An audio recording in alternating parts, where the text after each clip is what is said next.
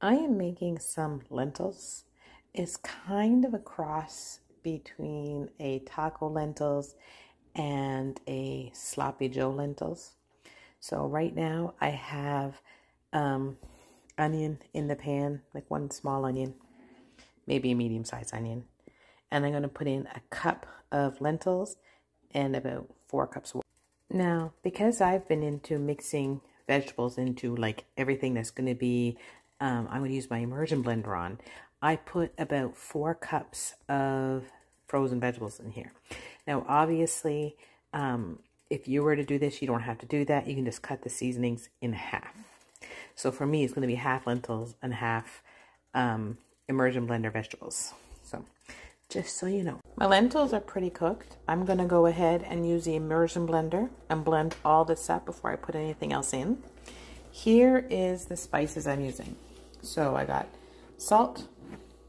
You can salt to taste. Chili powder. I'm using quite a bit of chili powder, probably like six tablespoons. Garlic powder. Smoked paprika, pepper, and I haven't got my cumin down yet. So I'll probably use like a tablespoon of cumin, maybe a little more. Um, smoked paprika, probably a tablespoon or two of that.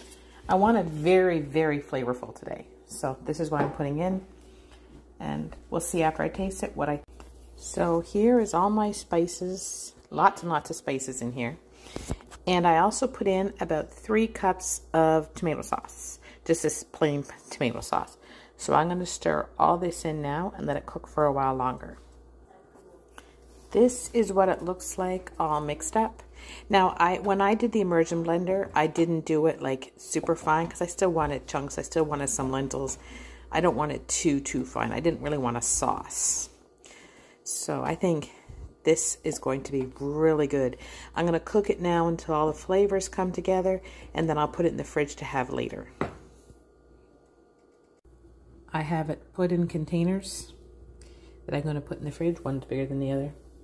That I'm going to put in the fridge. I will eat out of it. My kids will eat out of it. It will be good on toast, on rice, on potatoes, it'll be just really yummy.